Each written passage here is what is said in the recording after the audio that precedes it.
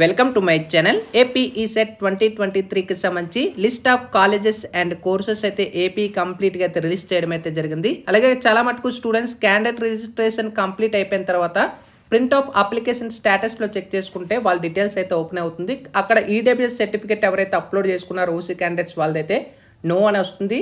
అలాగే income certificate కానీ ఎవరైతే అప్లై చేసుకున్నారో వాళ్ళకి కూడా నో అయితే వస్తుంది.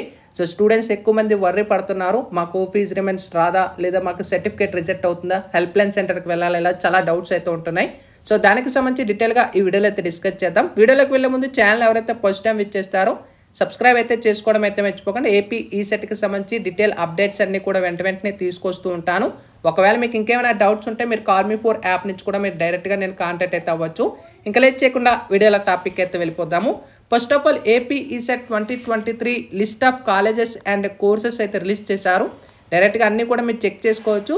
మీరు డైరెక్ట్గా ఏ కాలేజ్ చెక్ చేసుకోవాలనుకుంటున్నారు ఈ కాలేజ్ మీద మీ యొక్క ఈ యొక్క నేమ్ ఎంటర్ చేసిన వెంటనే ఆ కాలేజ్ డీటెయిల్స్ ఓపెన్ అయిపోతుంది. ఆ కాలేజెస్లో మనకి సీట్స్ ఎన్ని ఉన్నాయి అనేది మీకు చూపిస్తుంది. అది మీరు క్లియర్గా చెక్ చేసుకోవచ్చు. వెబ్సైట్ లింక్ కింద డిస్క్రిప్షన్లో ప్రొవైడ్ చేస్తే అక్కడి నుంచి కూడా చెక్ చేసుకోవచ్చు.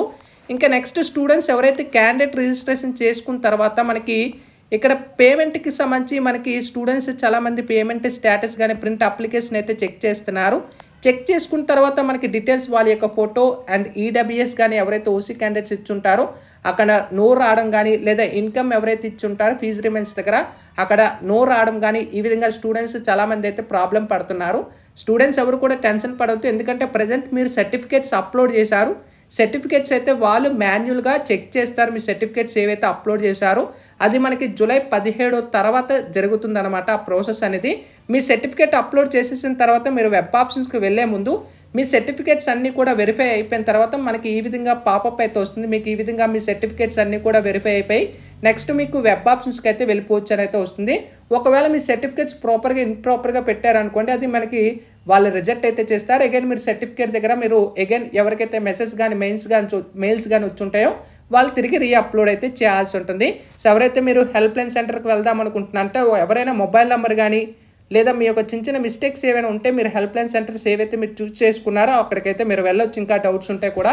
సో డీటెయిల్గా మనకు వచ్చిన ఇన్ఫర్మేషన్ అయితే ఇవి. ఇంకా స్టూడెంట్స్ ఇంకేమైనా డౌట్స్ ఉంటే కూడా కామెంట్ సెక్షన్లో తెలియచేయచ్చు. దానికి సంబంధించి సపరేట్ వీడియో కూడా అందిస్తుంటాను. So bye friends thank you